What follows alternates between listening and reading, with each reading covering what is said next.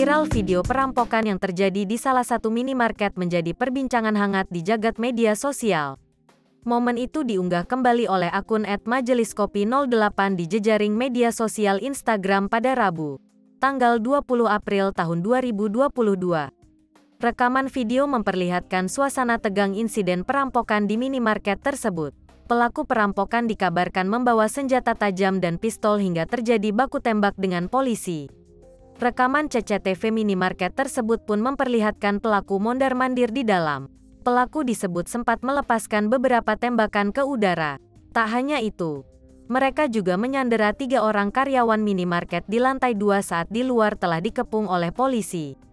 Polisi mengepung lokasi dan merangsek masuk minimarket hingga terjadi balas-membalas penembakan. Tulis keterangan. Polisi dikabarkan berhasil masuk dan melumpuhkan kawanan perampok. Tak hanya itu, tidak ada korban jiwa dalam kejadian tersebut. Saat baku tembak terjadi,